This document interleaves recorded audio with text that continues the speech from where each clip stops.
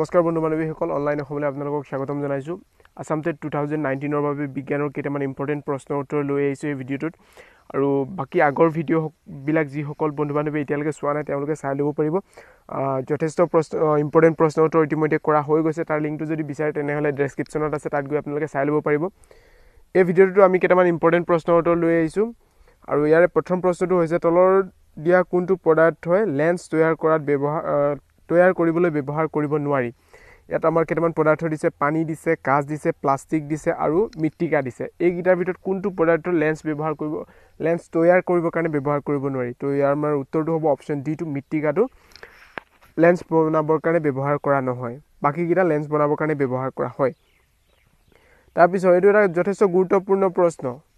এই প্ৰশ্নটো প্ৰায় সকলোবিলাক পৰীক্ষাতে আহি থাকে। তো এই প্ৰশ্নটো আমি জনা দৰকাৰ কিয়নো কিয়নো এইবাৰ আমাৰ টেটতো এই ধৰণৰ প্ৰশ্ন আহিব পাৰে।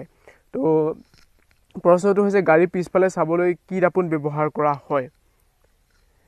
ইয়াত অপশ্যনসমূহ দিছে উত্তল দাপোন সমতল দাপোন অৱতল দাপোন আৰু ডিটো দিছে উত্তল আৰু অৱতল দুইটা দাপোনেই ব্যৱহাৰ কৰা হয়। তো গাড়ীৰ পিছফালে চাবৰ কাৰণে আমাৰ সদায় উত্তল দাপোন ব্যৱহাৰ কৰা হয়। কাৰণটো হ'ল উত্তল দাপোনে এটা ডাঙৰ বস্তুক প্ৰতিবিম্ব সৰু প্ৰতিবিম্বৰ গঠন কৰিব পাৰে। কাৰণ আমাৰ যদি গাড়ীৰ পিছফালে যিটো জেগা আছে সেইটো যথেষ্ট ডাঙৰ জেগা থাকে। সেই ডাঙৰ জেগাটো আমি গোটেইটো এখন সৰু দাপোনত দেখা পাওঁ। তো মানে কি কৰে যিটো প্ৰতিবিম্ব গঠন সেই প্ৰতিবিম্বটো সৰু কৰি পেলায়। তো সেইবাবে উত্তল দাপোন ব্যৱহাৰ কৰা হয়। তাৰ পিছৰ প্ৰশ্নটো আছে মায়পিয়া কি? মায়পিয়াৰ বিষয়ে যদি আমি কওঁ তেনে মায়পিয়া হৈছে এটা চকুৰ ৰোগ তাত আমাৰ অপশ্যনসমূহ দিছে। মায়পিয়াৰ বিষয়ে কি কি দিছে? ওচৰৰ বস্তু দেখা নাপায় দূৰৰ বস্তু দেখা নাপায় একেবাৰে দেখা নাপায় এটাও নহয়। তো মায়পিয়া হ'ল এটা চকুৰ ৰোগ যিটো ৰোগৰ বাবে ৰোগী এজনে ওচৰৰ বস্তুটো স্পষ্টকৈ দেখা পায় কিন্তু দূৰৰ বস্তুবিলাক দেখা নাপায়। তো তেনেকুৱা ৰোগক মায়পিয়া বুলি কোৱা হয়। আৰু যিবিলাকে ওচৰৰ বস্তু দেখা নাপায় কিন্তু দূৰৰটো দেখা পায় তেনেকুৱাও কিছুমান ৰোগী আছে। তেনেকুৱাবিলাকক কোৱা হয় হাইপাৰ মায়পিয়া বুলি কোৱা হয়। তো ইয়াৰ কাৰণে আমাৰ অপশ্যন বিটো হ'ব শুদ্ধ উত্তৰ। তাৰপিছত এই ৰোগটো মায়পিয়া যেতিয়া হয় মায়পিয়া হ'লে এই ৰোগটো দূৰ কৰিবৰ কাৰণে আমি যদি উচ্চ মানে অৱতল লেন্স যদি ব্যৱহাৰ কৰোঁ তেনেহ'লে উপযুক্ত যদি প্ৰকাশযোগ্যৰ যদি আমি অৱতল লেন্স ব্যৱহাৰ কৰোঁ তেনেহ'লে এই ৰোগটো আমি আঁতৰ কৰিব পাৰোঁ। তাৰপিছৰ প্ৰশ্নটো আছে ৰাতিৰ আকাশত তৰাই তীৰ দিয়াই থকা দেখা পাওঁ কিয়? ইয়াৰ আমাৰ অপশ্যনসমূহ দিছে পোহৰৰ প্ৰতিফলনৰ বাবে বায়ুমণ্ডলীয় প্ৰতিসৰণৰ বাবে তৰাবোৰ বহু দূৰত থকাৰ বাবে। তাৰপিছত ডি অপশ্যনটো দিছে তৰাবোৰ নিজৰ পোহৰ নাই বাবে। তো এই গোটেইকেইটাৰ ভিতৰত যোনটো হ'ব বায়ুমণ্ডলীয় যিটো প্ৰতিসৰণ এই প্ৰতিসৰণৰ বাবে তৰাবিলাকক আমি ৰাতিৰ আকাশত তীৰ বিৰাই থকা দেখা পাওঁ। অপশ্যন বিটো আমাৰ শুদ্ধ উত্তৰ। তাৰপিছৰ বস্তু এটা আছে তাৰপিছৰ প্ৰশ্নটো হৈছে স্পষ্টকৈ দেখা পাবৰ বাবে বস্তু এটা চকুৰ পৰা নিম্নতম দূৰত্ব। মানে প্ৰশ্নটো কৈছে যে আমি যদি বস্তু এটা স্পষ্টকৈ দেখা পাওঁ চকুৰ পৰা কিমান মিনিমাম মিনিমাম কিমান দূৰত্বত থাকিব লাগিব? বা যদি তাতকৈ ওচৰ হয় আমি বস্তুটো দেখা নাপাম। তো এই দূৰত্বটো কিমান ডিষ্টেঞ্চটো কিমান সেইটো আমাক সুধিছে। আমাৰ অপশ্যনসমূহ দিছে twenty five metre two point five metre twenty five centimetre two point five centimetre তো ইয়াৰ ভিতৰত আমাৰ শুদ্ধ অপশ্যনটো হ'ব অপশ্যন চিটো টুৱেণ্টি ফাইভ চেণ্টিমিটাৰ পৰা দূৰত থকা বস্তু এটাহে আমি দেখা পাওঁ। যদি টুৱেণ্টি ফাইভ চেণ্টিমিটাৰ যদি ভিতৰত আহে মানে আমাৰ চকুৰ পৰা যদি টুৱেণ্টি ফ'ৰ বা টুৱেণ্টি চেণ্টিমিটাৰত আমি বস্তু এটা ৰাখোঁ সেই বস্তুটো আমি দেখা নাপাওঁ। জিল মিল দেখা পাওঁ আৰু আমাৰ চকুকেইটা বিষ অনুভৱ কৰে। নিশ্চয় আপোনালোকে বুজিব পাৰিছে।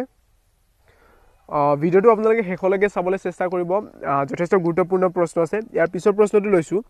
মানুহৰ চকুৱে বস্তু এটাৰ প্ৰতিবিম্ব গঠন কৰা স্থান। মানে আমাৰ চকুৰ যিটো যিকোনো বস্তু আমি দেখা পালে কি হয় চকুত বস্তুটোৰ প্ৰতিবিম্ব গঠন হয়। সেই প্ৰতিবিম্বটো চকুৰ কোনটো ঠাইত বা কোনটো অংশত গঠিত হয়। তো আমাৰ অপশ্যনসমূহ দিছে কৰ্ণিয়া চকুৰ পতা চকুৰ মণি আৰু অক্ষিপট দিছে। তো এই গোটেইকেইটাৰ এই গোটেইকেইটাৰ ভিতৰত আমাৰ শুদ্ধ উত্তৰটো হ'ব অক্ষিপট অক্ষিপটত আমাৰ এখন পৰ্দাৰ দৰে আছে। পৰ্দাৰ দৰে আছে য'ত আমি দেখা পোৱা বস্তুবিলাক গঠন হয় প্ৰতিবিম্ব গঠন হয়। সাত নম্বৰ প্ৰশ্ন প্ৰশ্নটো আছে চকুৰ কি অংগৰ ক্ৰিয়াৰ বাবে চকুৰ লেন্সৰ ফকাছযোগ্য পৰিৱৰ্তন হয়? অপশ্যনসমূহ দিছে চকুৰ মণি অক্ষিপথ চিলিয়াৰী পেশী আৰু চকুৰ পতা। তো আমাৰ চকুৰ লেন্সৰ ফকাছ দৈৰ্ঘ্য পৰিৱৰ্তন কৰা অংশটোৰ নাম হৈছে চিলিয়ৰী পেশী। তাৰ পিছৰ প্ৰশ্নটো আছে আঠ নম্বৰ প্ৰশ্নটো পৰিবাহী এডালৰ ৰুট কি কি কাৰকৰ ওপৰত নিৰ্ভৰ কৰে? পৰিবাহী মানে আমাৰ যিবিলাক ৱায়াৰ ব্যৱহাৰ কৰোঁ বৈদ্যুতিক সঁজুলিবিলাকত এই ৱায়াৰবিলাকৰ কথা হৈছে যাৰ মাজেৰে কাৰেণ্ট পাৰ হয়। এই পৰিবাহীডালৰ বিলাকৰ কি হৈছে ৰুট মানে এটা বাধা থাকে বাধা বুলি কোৱা হয় ৰুট এই ৰুটটো কি কি কাৰকৰ ওপৰত নিৰ্ভৰ কৰে? তাত আমাৰ অপশ্যনসমূহ দিছে পৰিবাহীডালৰ দৈৰ্ঘ্য পৰিবাহীডালৰ প্ৰস্থছেদৰ কালি পৰিবাহীডালৰ পদাৰ্থৰ প্ৰকৃতি আৰু অপশ্যন ডি দিছে ওপৰৰ আটাইকেইটা। তো এই প্ৰশ্নটো যিটো দিলে পৰিবাহী এডালৰ ৰুট এই ওপৰত যোনকেইটা দিয়া আছে তিনিটা এ বি চি এই গোটেইকেইটাৰ ওপৰত নিৰ্ভৰ কৰে। তো অপশ্যন ডিটো আমাৰ শুদ্ধ উত্তৰ হ'ব ওপৰৰ আটাইকেইটাই শুদ্ধ। ওপৰ আটাইকেইটাৰ ওপৰত নিৰ্ভৰ কৰি থাকে নিশ্চয়। তাৰপিছত ন নম্বৰ প্ৰশ্নটো আছে বৈদ্যুতিক প্ৰবাহ উৎপন্ন কৰা সঁজুলি। বিদ্যুৎ প্ৰবাহ কাৰেণ্ট উৎপন্ন কৰা সঁজুলিটোৰ নাম কি? অপশ্যনসমূহ দিছে জেনেৰেটাৰ বোলে গেলভেনমিটাৰ বোলে এমিটাৰ বোলে মটৰ বোলে। তো এইটো আমি সকলোৱে জানো বৈদ্যুতিক বিদ্যুৎ উৎপন্ন কৰা যন্ত্ৰটোৰ নাম হৈছে জেনেৰেটৰ অপশ্যন এ শুদ্ধ উত্তৰ।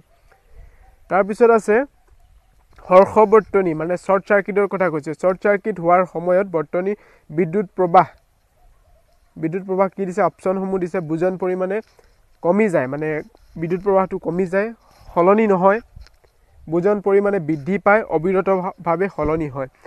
তো যেতিয়া আমাৰ শ্বৰ্ট চাৰ্কিট হয় ঘৰৰ বা যিকোনো এটা বৈদ্যুতিক সংযোগত যদি শ্বৰ্ট চাৰ্কিট হয় তেতিয়া তাত যিটো বিদ্যুৎ প্ৰবাহ আছে এই বিদ্যুৎ প্ৰবাহৰ পৰিমাণটো বৃদ্ধি পায়। অৰ্থাৎ অপশ্যন চিৰ আমাৰ যিটো প্ৰশ্ন অপশ্যন আছে অপশ্যন চিত আছে বুজন পৰিমাণে বৃদ্ধি পায়। এইটো হ'ব এই প্ৰশ্নটোৰ কাৰণে শুদ্ধ উত্তৰ। তো আজিৰ ভিডিঅ'টোত ইমানেই আছিলে। যদি ভিডিঅ'টো ভাল লাগিলে লাইক কৰক শ্বেয়াৰ কৰক আৰু এনেকুৱা ধৰণৰ ভিডিঅ'সমূহ পাই থাকিবৰ কাৰণে চেনেলটো ছাবস্ক্ৰাইব কৰি লওক। ধন্যবাদ।